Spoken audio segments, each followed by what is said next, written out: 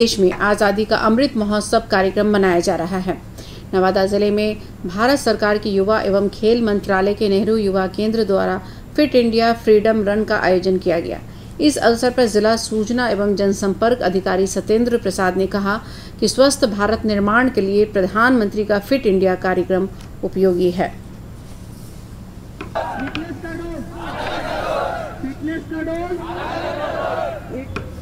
आज़ादी के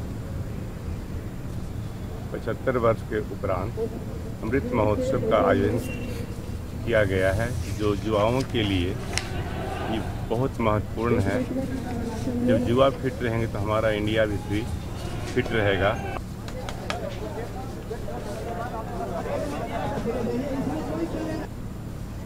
मुजफ्फरपुर में आज़ादी का अमृत महोत्सव कार्यक्रम के तहत नेहरू युवा केंद्र के नेतृत्व में फिट इंडिया फ्रीडम रन का आयोजन किया गया। दौड़ में एनसीसी कैडेट जीविका और खेल से जुड़े खिलाड़ियों ने भाग लिया।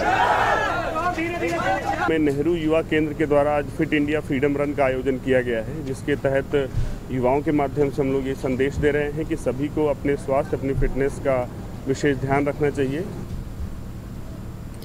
मुंगेर में नेहरू युवा केंद्र और मुंगेर विश्वविद्यालय की राष्ट्रीय सेवा योजना के संयुक्त तत्वावधान में सात किलोमीटर का फिट इंडिया फ्रीडम रन का आयोजन किया गया।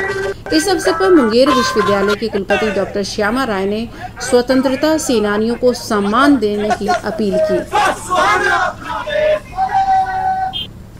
जो लोग रह रहे हैं, हमारे बुज़ुर्ग होंगे हमारे जो सीनियर मेंबर्स कह लीजिए जो भी हमारे गाँव में या आसपास के होंगे वो लोग कुछ कहानी ज़रूर सुनाते हैं हमें जिससे कि हमें वो ज्ञात होता है।